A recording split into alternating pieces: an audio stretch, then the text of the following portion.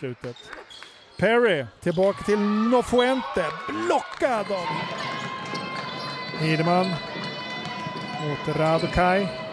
Och look away pass snyggt till Ivis. Den passningen är ju briljant till Ivis Delicia Lawrence. Tar sig snabbt förbi in i mitt. Åh, oh, vilken passning! Kolla den passningen till Natisha Hideman. Kolla den! Mellan benen, mellan ryggen, bakom ryggen upp till... Eh, Ja, det är nog rätt för dem att, eh, av dem att försöka satsa på... Ja, det där gör hon ju så bra. Nej, nära att lyckas Lisa Bolander. Istället så kommer Hideman igen. Oj, oj, oj, oj, oj, vilket samspel mellan bakom ryggen till eh, Kioma Namaka som inte bara sätter poängen, hon får dessutom eh, en straff också.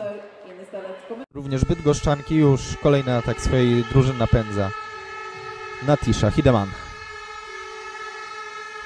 No ona też to bez cienia wątpliwości wielki hit kolejnej serii spotkań Energa Basket Ligi Kobiet. Bydgoszczanki. Za trzy punkty Hideman. No i celnie.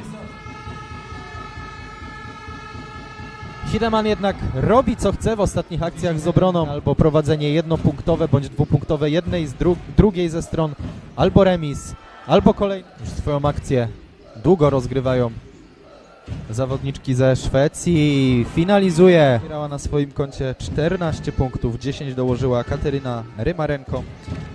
No i to właśnie te dwie zawodniczki są przede wszystkim. No i Karina Michałek celnie, ponownie 15 punktów prowadzenia, ale jeszcze swoją akcję kończą zawodniczki ze Szwecji. Świetne wejście.